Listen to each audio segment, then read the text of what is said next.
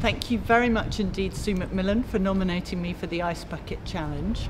And I would like to nominate Steve Cassidy, the original Mumsnet Tech, um, the lovely Siobhan Freegard from NetMums, and Mumsnet's number one fan, Katie Hopkins.